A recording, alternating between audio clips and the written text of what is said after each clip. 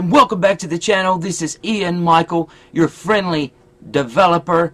And uh, the Teenage Mutant Ninja Turtle collection is ready to come out for Christmas, hitting the deadline like I said I would. I would like to stop this here and thank all the patrons who support me and continue me doing Dreamcast. I'd like to thank Adam Burrell, my artist partner. I'd like to have a cheers out to Mike Rocks, fabulous guy and chap. And I'd like to say thank you to Shiendu and thank you to everyone, including Florin W., who's a great friend and support. And everyone else is mentioned in the NFO. So this is my biggest scene release. Uh, it's five months work. It uses a variety of different dev kits. I have quality contested it on not just one Dreamcast, not just two Dreamcasts, not just three Dreamcasts. Yeah. Oh, he's not going to fall off. Don't worry. Don't worry. He won't fall off. So I'd like to take this time. All links to the project will be in the comments below, not the description. And I'd like to take this time to say thank you to all the Dreamcast scene. This has been a labour of love to give back to the scene, to everything that they give to me. And don't forget that this is Christmas time. Hold joy and peace and love in your heart and be kind to someone else and let's move this forward the next year and stop all the division and infighting and might I say dullness. So everyone, let's get to my intro and then the trailer and you can go download. Ian Micheal signing out. 2022. Thank you everyone. And I'll see you in a future video. Brought to you by an IMR Technology production. Dreamcast, keeping the dream alive. keeping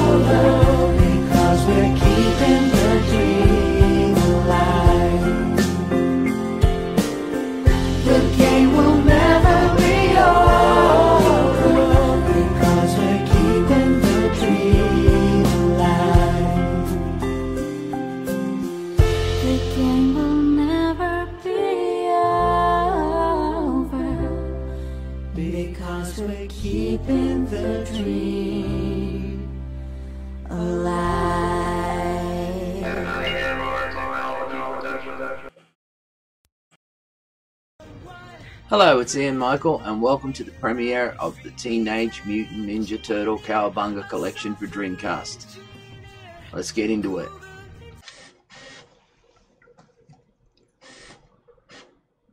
We're going to show you the intro and then the menus and leave it up to you to explore all the games. This here is a world first for Ballistos. This is a FMV texture effect on a fully serviceable menu. You can press A at any time or you can just let it auto do it.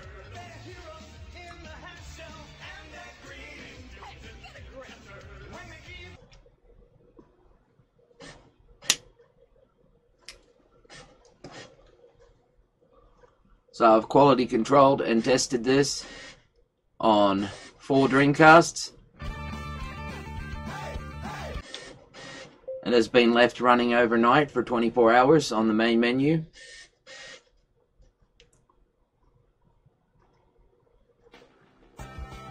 So let's go into all the menus.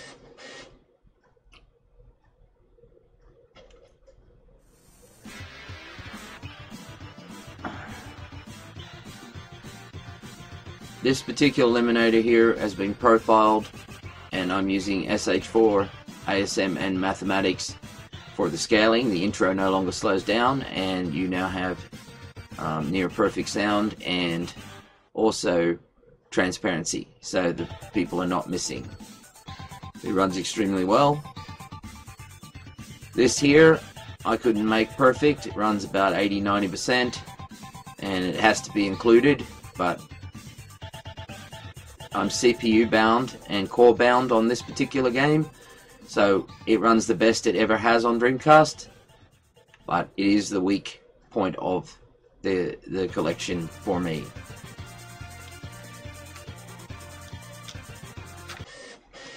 All these emulators load and return. If you know what that means, that means you don't get off your chair. They all have a key combo, which if you go to the info viewer, it'll tell you how to use all emulators. So there's no need to ever use the reset switch on your Dreamcast. That's what the five months is for. And doing all the work that I did on it. Every emulator is rebuilt with a protection, memory protection, that flushes and reloads as it loads the main menu. So nothing interferes with each other. This runs perfect, perfect, perfect, perfect. All of the games have their own VMU icons, every single one of them.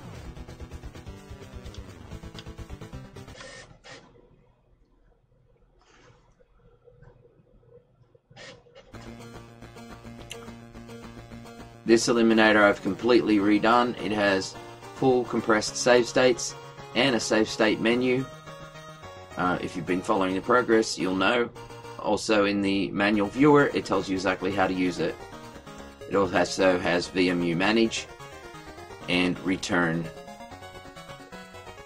to the menu. Look in the bonuses here. Since the Spectrum uses the same CPU basically as the Game Boy, I've included this is a uh, shortened release of the coin-op. It also comes with CD Music Auto. This is the full version with CD audio music as well.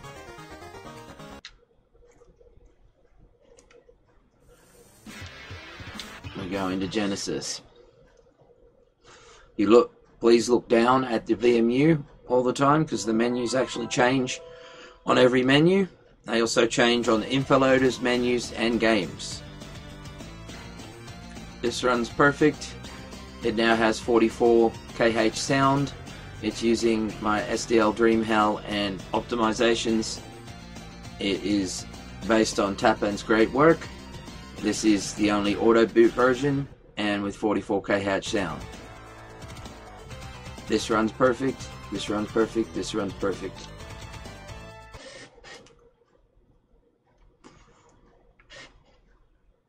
All of these return to the menu. Dreambore 7.2. I've got it loading in under 50 seconds on a CDR. This is the full game. This is uh, my version based on Ripfire's version. It is uh, cut down but fully nice to play, runs at 60 frames a second, no janky junk here. And this is my own conversion of um, Turtles Lost in Space, I did myself. It is a mini adventure, so you have about 30 or 40 minutes play. Uh, everything works perfect, and you can return to the menu.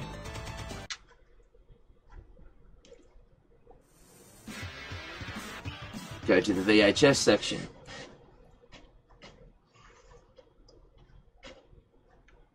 This is the uh, first episode of Turtles. Um, the first episode to come on the VHS Turtle Tracks. It plays perfect. It's in sync.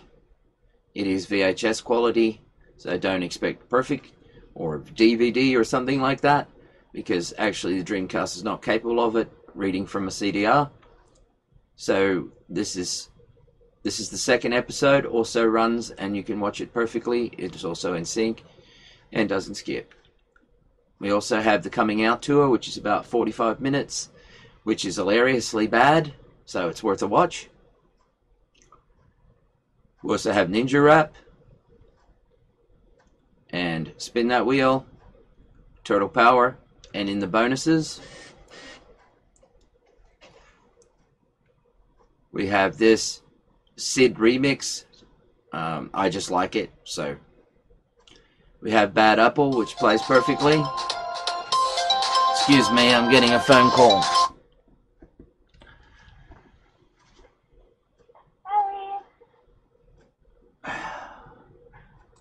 Okay, that was a call from my mum. Love you, mum. So, as Bad Apple, that works perfect, returns to the video, and this is Super Turtles! It has all the Japanese commercials for Super Turtles, and of course, I just like it, so. You've got hours and hours of gameplay. Um, we'll finish on the um, Super Nintendo to show you how good it runs. This is all this is all being captured directly on hardware. You probably can hear my GD-ROM. I have four other Dreamcasts behind me.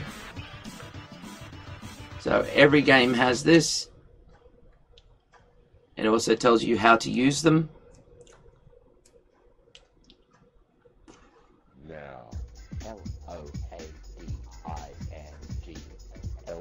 17 file animation with intro screen. This, on any release, the intro slows down. Um, I used SH4 Mathematics and FSCA. See, no slow intro.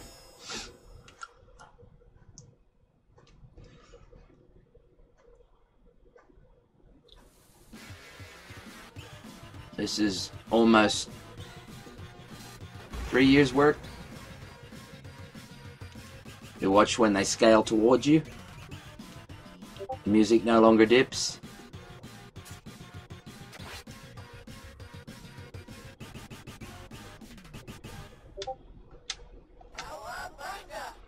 Music is the highest quality. It's 44kh, higher than any released version that you can scrounge around on the internet. You see now he is visible and he goes away. Before that was broken. See how quick the scaling is?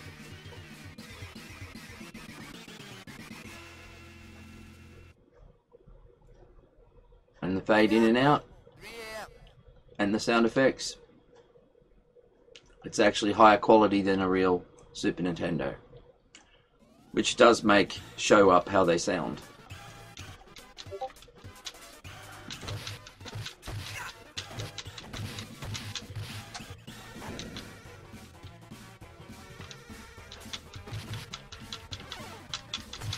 See how quick the scaling is? It doesn't dip when it does the scaling.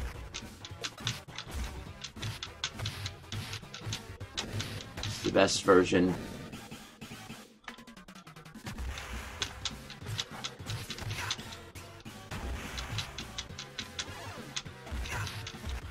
Alright, so we go back to the menu. I ask you not to change these settings, but you can if you want, but you'll just make it worse. So, exit returns to the menu.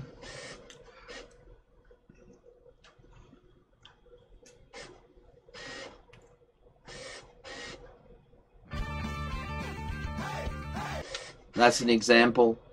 All games exit and return to the menu. And I have run through all of them. Every single menu has been run through three times each. All in a four to five hour period without a crash. This has taken me. Well, I've got some hair left. The Game Boy uh, Emulator has also been optimized, and you'll be able to see that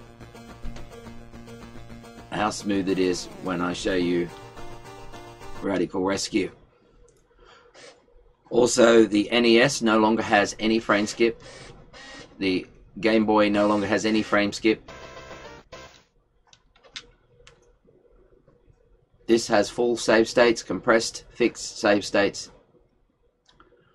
Look down at your VMU. All games have their own custom icon. Each game. I N G. Download. Download. Same with the menu.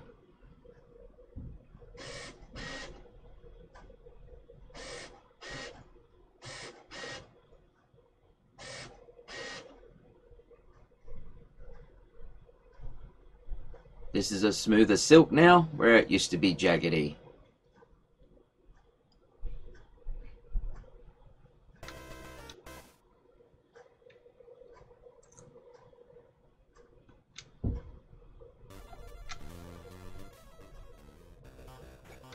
Watch how smooth it is now. It's never been like this on Dreamcast before.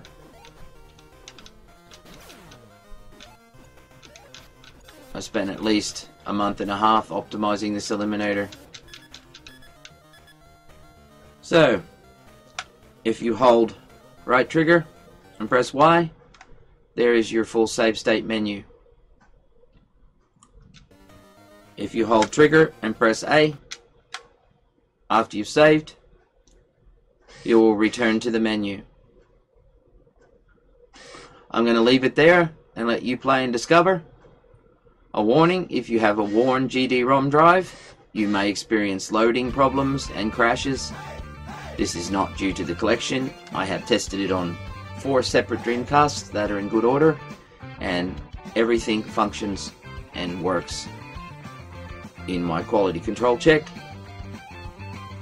And so that's about it. Thank you all. Thank you all that support me. Cheers to Adam for being there the last five months and working every day and talking late nights. Don't forget to like, share, and subscribe. If you'd like to see more projects like this and fund them and collections that are this good, then why don't you pop over and help support me on Patreon like a lot of people do? Thank you to all my patrons. You know who you are. This is for you and for the Dreamcast scene. Ian Micheal signing out. I'll see you in a future video. Farewell.